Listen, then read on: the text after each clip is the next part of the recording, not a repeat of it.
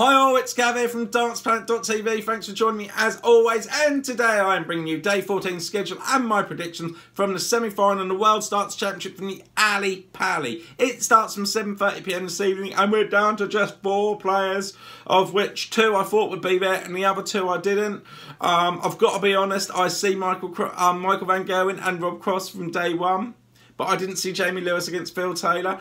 I thought that that would be, the other semi-final would be Peter Wright and Gary Anderson, if I'm being 100%. Well, you know that. It's no good me being honest because you've seen my other videos. So I can't backtrack on that. So um, having to eat a little bit of humble pie here because I know that I actually did a video yes uh, early on saying that Gary Anderson would end Phil Taylor's career. And obviously, Phil Taylor come out. He was relaxed. He was messing about with the camera. He got a good head start. He went um, into a good lead. Anderson come back, but Taylor fought him off um, with good averages and different things. So, and you know what can I say? You then got Jamie Lewis unbelievable. Where it's come from, I don't know. I don't know for you guys. Um, you must have seen it on the news or whatever, where it's Jamie Lewis put a tweet out, I think around October time, saying to everybody that he was apologising for his year and it was really disappointing. Um, and you know, hopefully it's going to be better in 2018. He hadn't qualified for the Worlds um, for the first time since being with the PDC.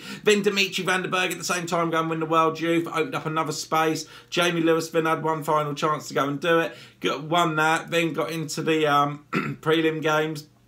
And it's just it's just crazy how things can change. Just shows that you just got to believe. You never know what's around the corner. I'm a great believer of that. Never, never over till the fat lady sings, as they say. So what I'm going to be doing is I'm going to be covering their stats and different things um, on each game. So the first game of the evening in the semi-final, as you can see, is Jamie Lewis against Phil Taylor. Now, Jamie Lewis yesterday, he thrashed Darren Webster 5-0. He had a free dart average of 101.26 and a checkout of 41.67, while Phil Taylor beat Anderson 5-3 with a free dart average of 102.02 and a checkout percentage of 50%. You know, Phil Taylor's on fire. I now, I now, and I'm saying it, I do believe that Phil Taylor could have this massive fairy tale ending. You know, it's it's I, it's just everything just seems to be opening up for Phil Taylor to do it. Do you know what I mean? Whether Anderson had his bad back or not, I don't know. But so I'm not using that as that's why Taylor won. But you know, Jamie Lewis put out put, put out Peter Wright, and now he's got Jamie Lewis in the semis. Van Gerwen's you know giving people opportunities. This shit could it happen? Do you know what? I think it could. I think that it could happen. I think that Taylor could get his 17th world title. So for that reason, I think if Jamie Lewis was throwing fire bombs at him, throwing the kitchen sink at him, whatever he threw at Taylor tonight, Taylor is so near now, is two games away from doing it.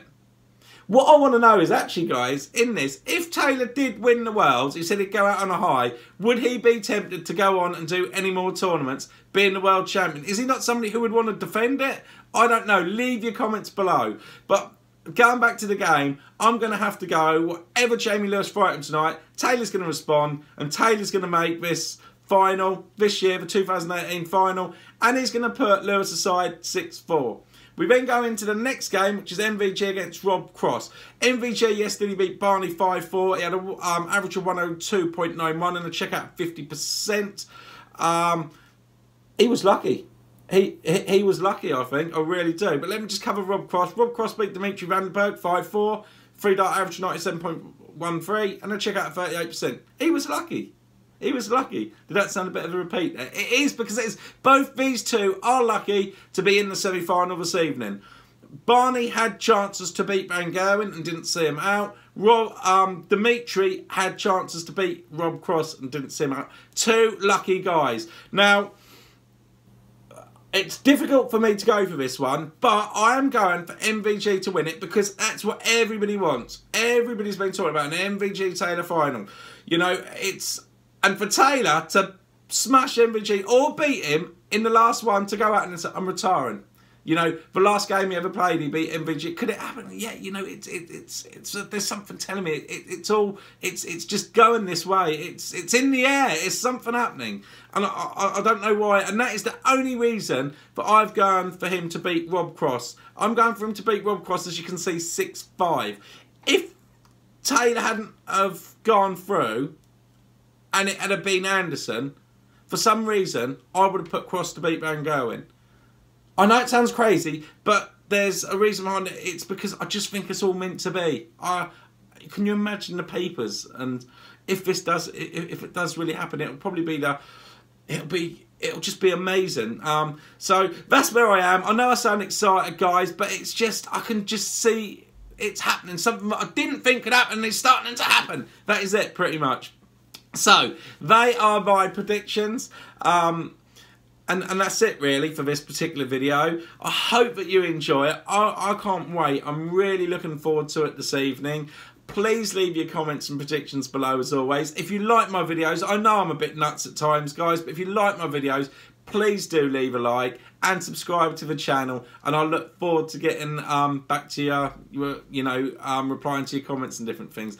As always guys, have a great evening and I'll catch you in the next video. Bye.